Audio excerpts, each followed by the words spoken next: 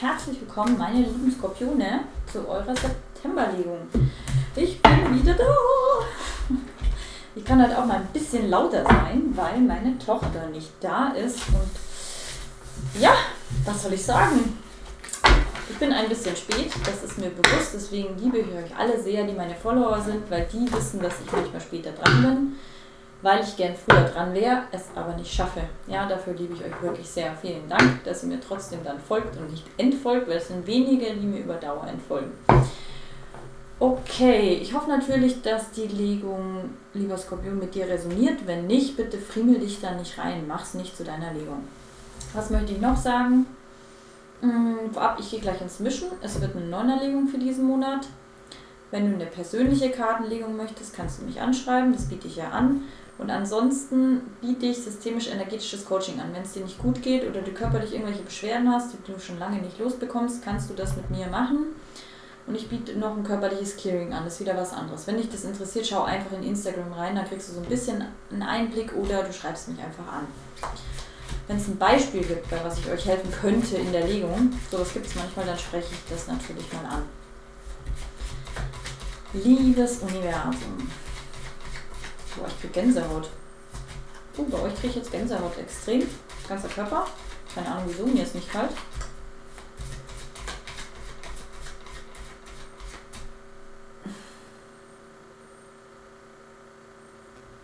Leider so wird der Kühlschrank ein bisschen laut, ich weiß. Ich möchte für meine Skorpione, boah, ganz kalt. Ich weiß nicht, was es ist. Schauen wir mal in den Karten, ob wir irgendwas eine Aussage bekommen.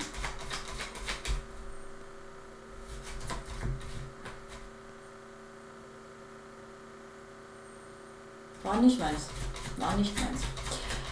Ähm. Aber so als sollte ich nicht sprechen. Sobald ich anfange zu sprechen, kommt dieser Schauer, der nicht meiner ist. Was soll ich denn hier sagen? Was ist denn hier los, bitte? Was soll denn mein Skorpion wissen für den September? Was hilft meinem Skorpion? Ich mache das tatsächlich hier, dass ich manchen von euch helfe. Wessen Legung es halt nicht ist, tut mir leid. Tut mir leid. Da kommen, zeigen sich schon die Mäuse. Verlust und boah. schauen wir mal, was eure Hauptenergie ist. Was die Legung mir hier sagen möchte. Unangenehm. Da sind die Mäuse. Okay. Unangenehm für mich. Für euch. Ich halte es aus. Eine gute Kartenlegerin hält es aus. Spaß. Manchmal sage ich euch, nach dem Kartenlegen reinigt man sich dann doch ganz gerne, weil es schon manchmal so Energien sind, die nicht von einem selber waren. Das ist dann schon so, äh, gleich mal irgendwie danach reinigen. Okay, Hauptenergie ist, ohne jetzt zu viel zu sagen, ohne die anderen Karten zu sehen, ist der Park. Also hier, hier habt ihr euch irgendwie verschlossen oder es hat irgendwas Großes nicht stattgefunden, was ihr euch gewünscht habt. Ich drehe jetzt mal alles um. So. Ihr habt schon gemerkt, ich, hab, ich bin gefühlt nicht die positivste Kartenlegerin. Also ich bekomme immer so krasse Lernaspekte und so. Ja, manchmal Sachen, die einfach so. Weiß ich nicht, es gibt so Kartenlegerinnen, die bekommen immer, ja, deine Liebe kommt und das Geld kommt und der Fluss kommt und bei mir kommt immer so, okay, das und das ist los, daraus sollst du da solltest du rausgehen, da solltest du reingehen. Das sind immer so, manchmal so unschöne Themen, aber irgendwie bin ich anscheinend dafür da. In der Vergangenheit sehe ich, das ist die Vergangenheitsreihe. Da sind wir im Jetzt. Jetzt ist jetzt gerade, wenn du siehst, egal wann du siehst. Vergangenheit ist bis gestern. Bis, ja, bis dem Tag, bevor du es gesehen hast. So nehme ich das. Und die ganze Kartenlegung, dass du das weißt, die geht schon noch in die erste Woche im Oktober ungefähr rein vom Gefühl. Und dann kommt die Zukunft. In der Vergangenheit haben wir eine Reise. Du hast hier was erlebt. Du hattest. Oder wartet mal, da möchte ich eine Klärung. Hm. Nee. Nee, eben nicht. Wir haben das Schiff auf dem Kopf. Also du hast hier eine ist gerade ein großes Fragezeichen. Lass ich mal so witzig noch klären. Da möchte ich jetzt nichts reininterpretieren, was nicht da ist. wir schauen uns mal das jetzt an. Vielleicht wird es dann klarer. Jetzt, liebe Skorpion. Hm, bist du in Bewegung? Du hast Kontakt zu deinen Herzensmenschen, möchte ich nicht unbedingt sagen, aber du bleibst in Bewegung zu diesen Menschen. Du denkst noch und agierst noch in diese Richtung. Du hast dich aber verschlossen, du zeigst nicht mehr deinen wahren Kern und die Sicherheit ist nicht mehr da. Der Anker ist hier auf dem Kopf. Entweder ist die Sicherheit nicht mehr da oder ist es nicht mehr da, dass du weißt, ob beide dasselbe wollen. Vielleicht war es auch noch nie da. Aber ich glaube, es ist nicht mehr da.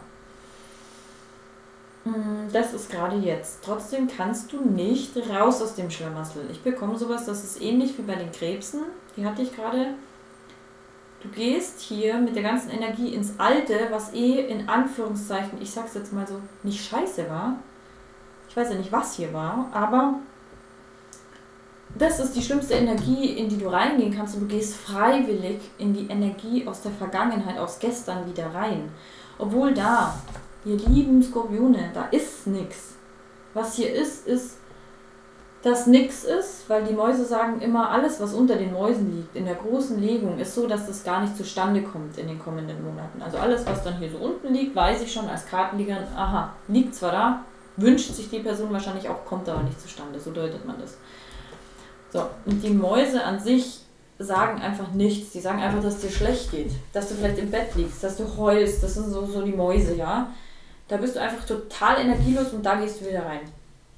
Weil, das ist zwar in der Zukunft, aber das fühle ich schon auch im Jetzt.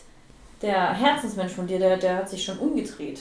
Der hat sich schon umgedreht ähm, der geht da gar nicht so mehr wirklich drauf ein oder er ist noch greifbar, aber nicht so, wie du dir das wünschst und trotzdem bist du da noch.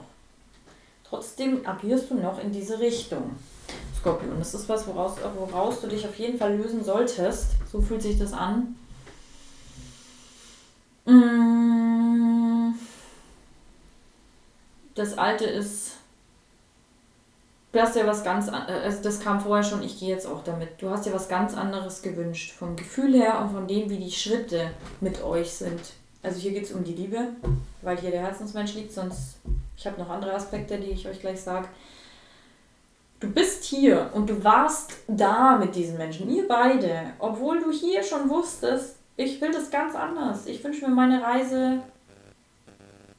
meine Reise soll nicht so ausschauen, sie soll jetzt nur bildlich so soll die ausschauen. Und die soll so gehen und dann soll sie so gehen und so gehen und so gehen. Und eure Reise ist vielleicht so gegangen.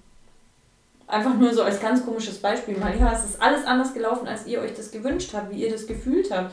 Trotzdem wart ihr in dieser Reise dabei. Und da ist die große Frage, wieso? Ihr wart euch selbst nicht treu. Ich sehe durch den Hund, ihr wart euch selbst nicht treu. Ihr habt euch selbst belogen, selbst sabotiert, Gut, es ist nicht der Fuchs, aber ja, ihr wart euch einfach selber nicht treu. Weil ihr den Menschen irgendwie so gut findet oder ich weiß nicht wieso. Das kann ich jetzt schwer sagen. Auf jeden Fall hängt ihr da voll in der Vergangenheit, gerade hängt ihr voll in der Vergangenheit, zeigt aber auch nichts mehr von euch. Also es ist nicht so, dass ihr sagt, hey, stopp mal. Stopp mal, das bin ich, das war scheiße, ich wünsche es mir so, gehst du mit oder nicht? Klar, keiner schafft es so, aber das kommt auch nicht. Also was kommt? In der Zukunft sehe ich, dass eine andere Frau eine Rolle spielt, ja, bei eurem Herzensmenschen. Das ist nicht immer so klar, was ist hier ultra klar. Deswegen ist der Mensch von euch auch ähm, weggedreht. Die, für die die Legung resoniert. Deswegen sage ich am Anfang, wenn du das am Anfang, was ich sage, schon nicht fühlst, dann ist es nicht deine Legung. Dann brauchst du jetzt auch keine Panik haben, dass dein Partner hier eine neue hat. Ähm, oder dein Ex-Partner. Es fühlt sich auch ein bisschen an wie Ex-Partner, lieber Skorpion. Könnte auch schon Ex-Partner sein. Auf jeden Fall ist hier eine neue Frau eine neue Frau. Und das ist gefühlt leider auch eure Zukunft. Eure Zukunft ist die neue Frau von diesem Mann, den ihr liebt. Wenn ihr jetzt ein Mann seid, bitte dreht durch die Geschlechterrollen um. Dann ist eure Zukunft die, die neue Frau. Das sollte aber nicht eure Zukunft sein, sondern ihr selbst. Und da ist das kleine Glück sogar umgedreht. Ich sehe hier gar kein Glück. Und ich sehe, ihr wollt dieser Frau schreiben. Ihr wollt die Frau vielleicht warnen? Ihr wollt mit der Frau in Kontakt treten. Okay, lasse ich jetzt einfach mal so stehen. Irgendwie schwingt da was in euch. Werdet ihr wahrscheinlich auch machen, weil es ist richtig rum. Vielleicht ist hier auch ein chronischer Fremdgänger am Werk, auf den ihr reingefallen seid. Keine Ahnung, könnte auch sein. Sowas gibt es natürlich auch immer mal wieder. Dann hinterfragt, warum war ich da? Was soll mir hier noch gezeigt werden? Womit bin ich hier noch in Resonanz gegangen? Oder keine Ahnung, war ich einfach blind? Wieso war ich dann blind?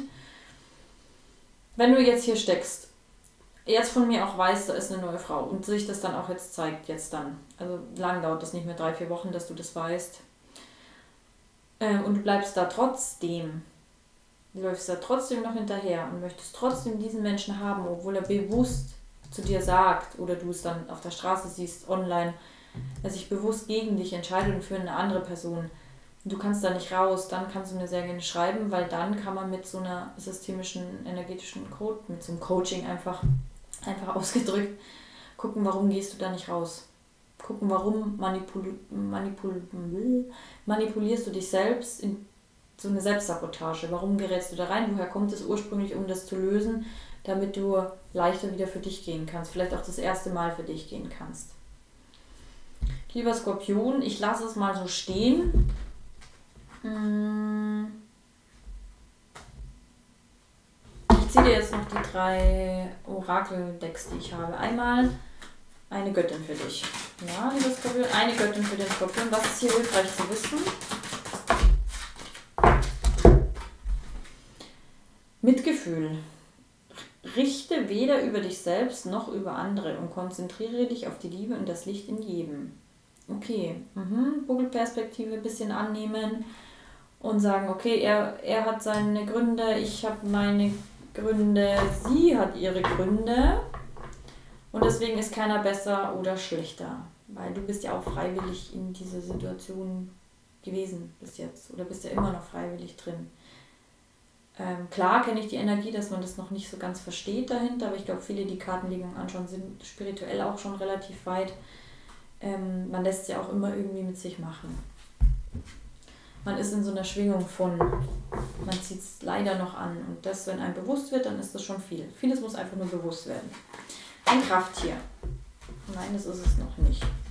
Ein Krafttier für meinen Skorpion.